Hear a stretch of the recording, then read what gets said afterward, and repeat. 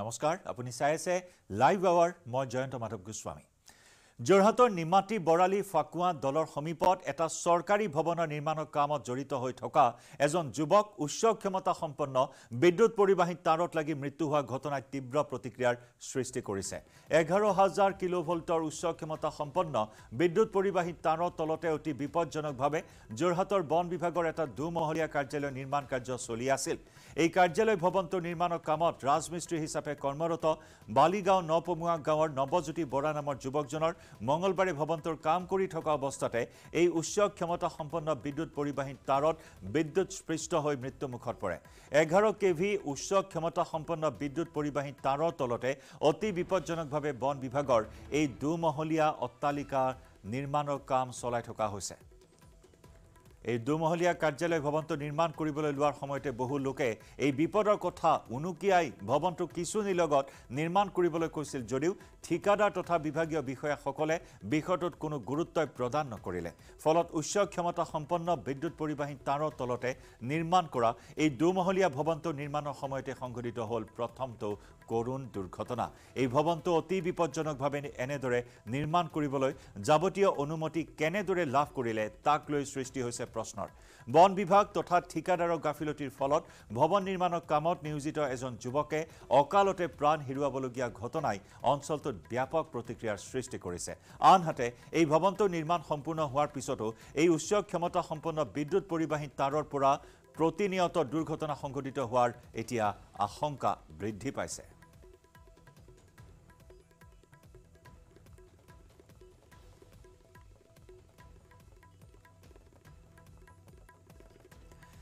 আৰু ইফালে মহানগৰী কাহিলীপাৰাৰ শক্তি বিভাগৰ গাফিলতিত এজন লোকৰ প্ৰাণ যোৱাৰ পিছত এইবাৰ বন বিভাগৰ গাফিলতিত বিদ্যুৎ স্পৃষ্ট হৈ প্ৰাণ গ'ল এজন যুৱকৰ। যোৰহাটৰ নিমাতী বৰালি ফাকুৱা দলৰ সমীপৰ বন বিভাগৰ এই ভৱন নিৰ্মাণৰ কামত জড়িত হৈ থকা নৱ বৰা নামৰ এজন যুৱকে অকাল মৃত্যুক সাৱটি ল'বলগীয়া হ'ল। বন বিভাগৰ গাফিলতি ঠিকাদাৰৰ গাফিলতিৰ বাবে এটা পৰিয়াললৈ কাল অমানিশা নমাই অনা হ'ল। এই ভৱনটোৰ নিৰ্মাণ কামত নিৰ্মাণৰ কামত জড়িত হৈ থকা এই যুৱকজনে উচ্চ ক্ষমতা সম্পন্ন বিদ্যুৎ পৰিবাহী তাঁৰত লাগি মৃত্যুমুখত পৰা ঘটনা। এতিয়া তীব্ৰ প্ৰতিক্ৰিয়াৰ সৃষ্টি কৰিছে। আমি পুনৰ জনাইছোঁ এঘাৰ হাজাৰ কিলো ভল্টৰ উচ্চ ক্ষমতা সম্পন্ন বিদ্যুৎ পৰিবাহী তাঁৰৰ তলতে অতি বিপদজনকভাৱে যোৰহাটৰ বন বিভাগৰ নিৰ্মাণ অব্যাহত ৰাখিছে এই দুমহলীয়া কাৰ্যালয়টোৰ। এই কাৰ্যালয়টো নিৰ্মাণৰ কামত ৰাজমিস্ত্ৰী হিচাপে জড়িত আছিল। বালিগাঁও নপমুৱা গাঁৱৰ এইজন নৱজ্যোতি বৰা আৰু কাম কৰি থকা অৱস্থাত উচ্চ ক্ষমতা সম্পন্ন বিদ্যুৎ পৰিবাহী তাঁৰৰ সংস্পৰ্শলৈ আহি বিদ্যুৎ স্পৃষ্ট হৈ মৃত্যুমুখত পৰিল যুৱকজন। বিদ্যুৎ পৰিবাহী তাঁৰৰ তলতে অতি বিপদজনকভাৱে বন বিভাগৰ এই দুমহলীয়া কাৰ্যালয় ভৱনটো নিৰ্মাণ কৰিবলৈ লোৱাৰ সময়তে বহু লোকে ঠিকাদাৰ তথা বিভাগীয় বিষয়াসকলক অৱগত কৰিছিল যদিও বিষয়টোত কোনো গুৰুত্ব প্ৰদান নকৰিলে। এই ভৱনটো অতি বিপদজনকভাৱে এনেদৰে নিৰ্মাণ কৰিবলৈ যাৱতীয় অনুমতি কোনে কেনেদৰে দিলে তাক লৈ এই মুহূৰ্তত প্ৰশ্ন উত্থাপন হৈছে। বন বিভাগ তথা ঠিকাদাৰৰ গাফিলতিৰ ফলত ভৱন নিৰ্মাণৰ কামত নিয়োজিত এজন যুৱকে অকালতে প্ৰাণ হেৰুৱাবলগীয়া হোৱা ঘটনাই অঞ্চলটোত ব্যাপক প্ৰতিক্ৰিয়াৰ সৃষ্টি কৰিছে।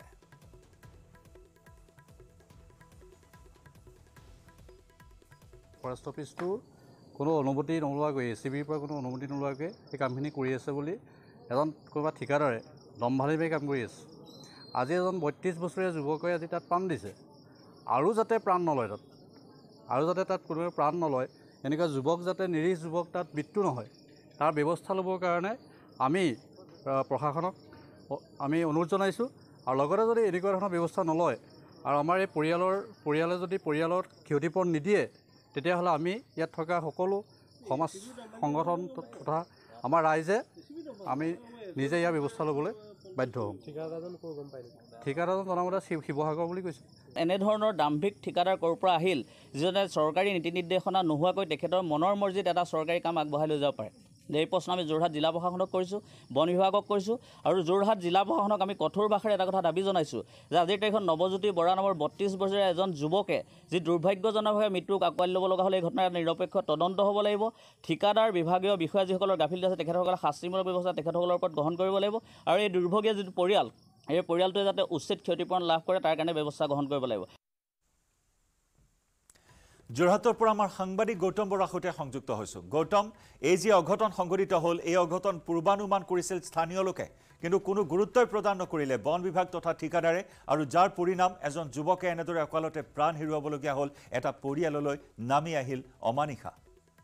হয় হয় নিশ্চয়কৈ জয়ন্ত চাওক আমি ইয়াৰ পূৰ্বৰে পৰা কেইবামাহ জুৰি বাতৰি সম্প্ৰচাৰ কৰি আহিছো যে যোৰহাট জিলা প্ৰশাসনে নাম দিয়া তথাকথিত মৰমৰ যোৰহাটত চৰকাৰী কাম কাজসমূহ কেনেধৰণে চলিছে?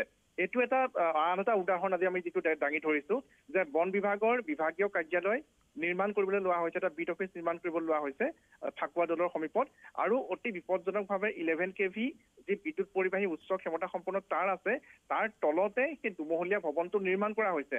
যদি নিউজ এইটিন অসম নৰ্থ ইষ্টৰ দৰ্শকসকলে বা আপুনি দেখা পাইছে টিভি স্ক্ৰীণত যে যিখন ফটো বা যিটো ভিজুৱেলছ আপোনাৰ তেওঁলোকে নিৰ্মাণৰত ভৱনটোৰ ওপৰেদিয়ে সেই ইলেভেন কে ভি বিদ্যুৎ পৰিবাহী তাঁৰ গৈছে। কোনো যদি জনসাধাৰণে যোৰহাটৰ কোনো নাগৰিকে যদিহে এটা সাধাৰণ ভৱনৰ নিৰ্মাণৰ বাবে আবেদন জনাই মিউনিচিপালিটিয়ে হওক বা যোৰহাট উন্নয়ন প্ৰাধিকৰণতে হওক তেওঁলোকক তেওঁলোকে বহুখিনি নীতি নিয়ম মানি চলিব লগা হয়। তেওঁলোকে এনেধৰণৰ ভৱন নিৰ্মাণৰ অনুমতি লাভ কৰিবৰ বাবে। কিন্তু খোদ চৰকাৰী এটা বিভাগ বন বিভাগৰ নিজৰ কাৰ্যালয় তেওঁলোকে নিৰ্মাণ কৰিছে আৰু সেই ন্যূনতম জ্ঞানখিনিও তেওঁলোকৰ নাই। যে এ, এনেধৰণৰ উচ্চ উচ্চ ক্ষমতা সম্পন্ন বিদ্যুৎ পৰিবাহী তাঁৰৰ তলত এনেধৰণৰ ভৱন নিৰ্মাণ কৰাটো যুক্তিসংগত হয় নাই বা তেওঁলোকে কৰিব লাগে নাই? কাৰণ এজন যুৱকৰ ইতিমধ্যে অকাল মৃত্যু হৈছে। সেই ভৱনটো নিৰ্মাণৰ পাছত তাত যেতিয়া কাৰ্যালয় হিচাপে ব্যৱ- ব্যৱহাৰ কৰিব তেতিয়াও প্ৰতিনিয়ত প্ৰতিটো ক্ষণতে আশংকাত ভুগিব লাগিব। সেই কাৰ্যালয়লৈ অহা যোৱা কৰা লোকসকল যিকোনো মুহূৰ্ততে তেওঁলোকৰ সেই ইলেভেন কে ভি বিদ্যুৎ পৰিবাহী তাঁৰত লাগি মৃত্যু হোৱাৰ আশংকা থাকি যাব। আৰু স্থানীয় লোকসকলে সচেতন লোকসকলে বাৰম্বাৰ বন বিভাগকো এই কথাটো অৱগত কৰিছিলে যে স্থান কিছু সাল সলনি কৰি তাৰ নিলগত যদি সেই ভৱনটো নিৰ্মাণ কৰে তেতিয়াহ'লে ভাল হ'ব। বা ঠিকাদাৰজনকো কৰা হৈছিলে। কিন্তু স্থানীয় লোকে অভিযোগ কৰাৰ মতে তেওঁলোকে কেৱল দম্ভালি মাৰিলে ঠিকাদাৰজনে দম্ভালি মাৰি পেলাই ক'লে যে য'তে মৰ্জি তেওঁ ততে নিৰ্মাণ কৰিব। আৰু তাৰ পৰিণতিত কি হ'ল আমি দেখিবলৈ পালো যে প্ৰথমটো এজন লোকৰ প্ৰথমটো দুৰ্ঘটনাত এজন লোকৰ মৃত্যু হৈছে। স্থানীয় লোকে বাৰম্বাৰ কৈছিলে বন বিভাগে কোনো গুৰুত্ব প্ৰদান নকৰিলে ঠিকাদাৰে গুৰুত্ব প্ৰদান নকৰিলে। আৰু ঠিক সেইদৰে মৰমৰ যোৰহাটৰ তাগিদাত ব্যস্ত থকা যোৰহাট জিলা প্ৰশাসনৰ এইবোৰ কাম চাবলৈ হয়তো সময়ে নাই। আৰু তাৰ পৰিণতিত আমি দেখিবলৈ পাইছো যে জনসাধাৰণে ক'বলৈ বাধ্য হৈছে যে এই ক্ষেত্ৰত যদিহে বন বিভাগ তথা জিলা প্ৰশাসনে যদি ব্যৱস্থা গ্ৰহণ নকৰে তেনেহলে গাঁওবাসীয়ে নিজাকৈ ব্যৱস্থা গ্ৰহণ কৰিব।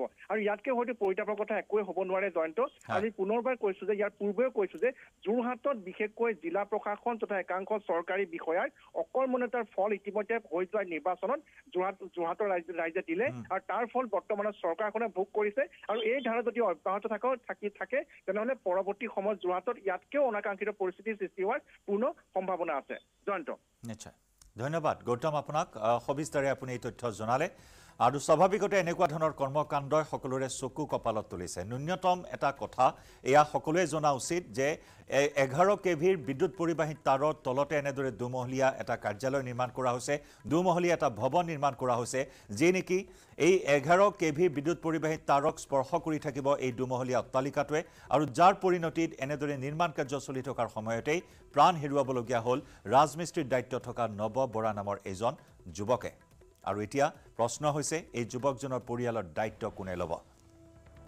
এনেধৰণৰ মৰণ ফাণ্ড শক্তি বিভাগেই হওক বন বিভাগেই হওক এটাৰ পিছত আনটো মৰণ ফাণ্ড চৰকাৰী মৰণ ফাণ্ডে এতিয়া নিৰাপত্তাহীনতাত ভোগাইছে ৰাইজক। কাহিলীপাৰাত স্কুটিৰ ওপৰত বিদ্যুতৰ খুটা বাগৰি এজন লোকৰ মৃত্যু হৈছিল আৰু সেই চাঞ্চল্য অব্যাহত আছে গুৱাহাটীত একে সময়তে যোৰহাটত এই কাণ্ড যি নাভুত নাচৰুত কাণ্ড বন বিভাগ আৰু ঠিকাদাৰৰ এঘাৰ কে ভি শক্তিশালী বিদ্যুৎ পৰিবাহী তাঁৰৰ তলতে নিৰ্মাণ কৰিছে এই দুমহলীয়া অট্টালিকা আৰু যাৰ পৰিণতিত প্ৰাণ হেৰুৱালে এজন যুৱকে।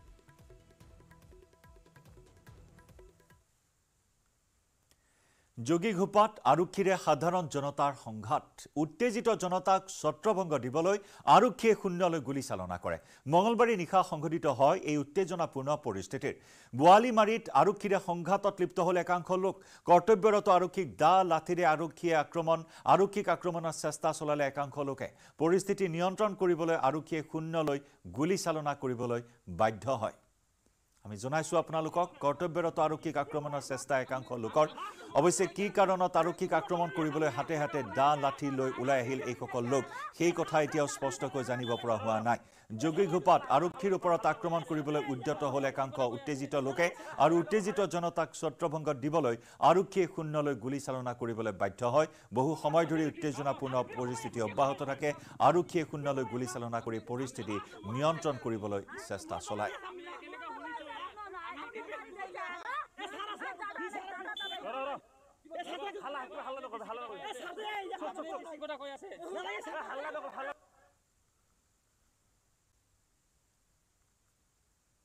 আপনি কি কমাই আছে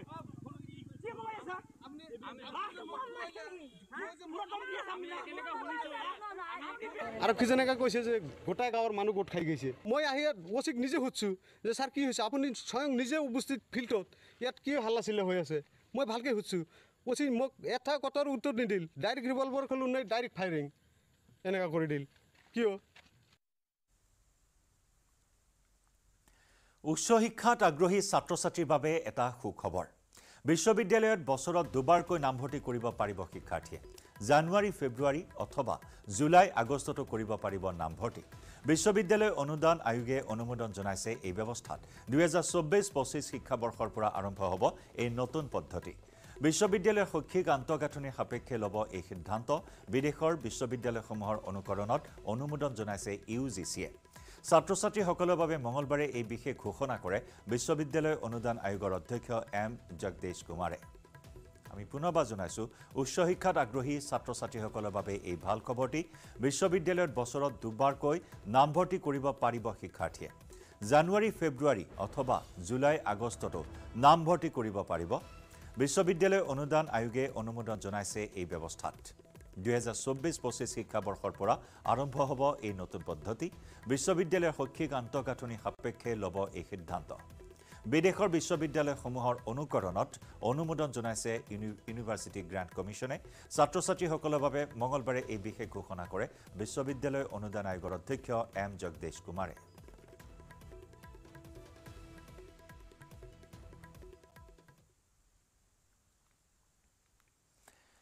পুনৰ জ্বলিছে অশান্ত মণিপুৰ। জিৰিবামৰ উত্তেজনাপূৰ্ণ পৰিস্থিতি চলি থকাৰ মাজতে এইবাৰ ইম্ফলত বোমা বিস্ফোৰণৰ ঘটনা। ইম্ফলত এগৰাকী চিকিৎসকৰ ঘৰলৈ বোমা নিক্ষেপ কৰিলে দুৰ্বৃত্তই। বোমা বিস্ফোৰণে কঁপালে J N I M S হাস্পতালৰ neurosurgeon doctor M Amit কুমাৰৰ বাসগৃহ।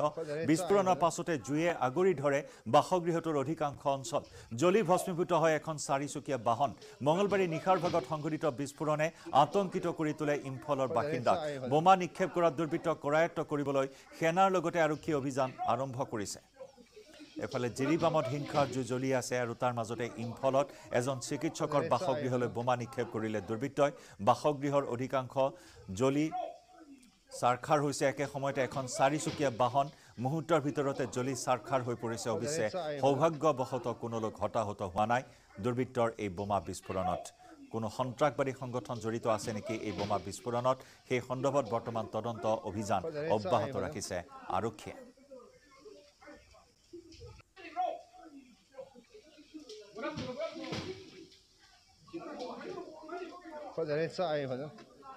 অশান্ত মণিপুৰত এটাৰ পিছত আনটো হিংসাত্মক ঘটনা এটাৰ পিছত আনটো বিক্ষিপ্ত ঘটনা। বিগত বৰ্ষৰ তিনি মে'ৰ পৰা যি হিংসাৰ জুই জ্বলি আছে মণিপুৰত সময়ে সময়ে এনেধৰণৰ বিক্ষিপ্ত ঘটনাই জোকাৰি গৈছে ৰাজ্যখনক। শেহতীয়াকৈ অশান্ত জিৰিবাম জিৰিবামত এজন কৃষকক নৃশংস হত্যাকাণ্ড আৰু সেই হত্যাকাণ্ডৰ পৰা নিতৌ জিৰিবামত হিংসাত্মক ঘটনা সংঘটিত হৈছে। জিৰিবামৰ পৰা প্ৰাণৰ মমতাত ৰাইজ ওলাই আহি কাছাৰত আশ্ৰয় গ্ৰহণ কৰিছে আৰু তাৰ মাজতে ইম্ফলত এজন চিকিৎসকৰ বাসগৃহলৈ দুৰ্বৃত্তই বোমা নিক্ষেপ কৰি বোমা বিস্ফোৰণ ঘটায় যি ঘটনাক কেন্দ্ৰ কৰি বৰ্তমান তীব্ৰ নিরাপত্তাহীনতায় ভুগিছে রাইস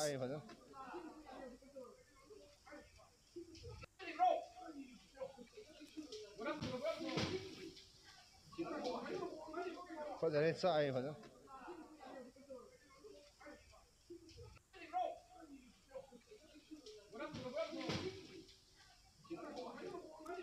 点来炸一反正。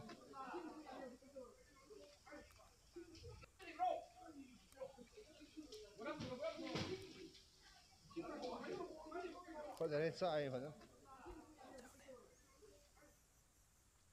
আৰু ইফালে অশান্ত জিৰিবামৰ পৰা নিতৌ কাছাৰলৈ পলায়ন কৰিছে শ লোকে। প্ৰাণৰ মমতাত কাছাৰত আশ্ৰয় লৈছে জিৰিবামৰ ভুক্তভোগীয়ে। লক্ষীপুৰৰ বিভিন্ন স্থানত স্থানীয় ৰাইজে আশ্ৰয় প্ৰদান কৰিছে জিৰিবামৰ পৰা পলাই অহা ভুক্তভোগীক। লক্ষীপুৰৰ মাৰ্কলিনত জিৰিবামৰ চাৰি শতাধিক শৰণাৰ্থীয়ে আশ্ৰয় গ্ৰহণ কৰিছে। ইপিনে কাছাৰত উপস্থিত হৈ শৰণাৰ্থীৰ বুজ লৈছে জিৰিবামৰ বিধায়কেও। উল্লেখযোগ্য যে জিৰিবামত এজন লোকক দুৰ্বৃত্তই ডিঙি কাটি হত্যা কৰাৰ পাছতে উত্তেজনাপূৰ্ণ পৰিস্থিতিৰ সৃষ্টি হৈ আছে। দুৰ্বৃত্তই কেইবাটাও ঘৰ জ্বলাই দিয়াৰ পাছত আতংকিত লোকে কাছাৰ সীমান্তৰে অসমত প্ৰৱেশ কৰিছে।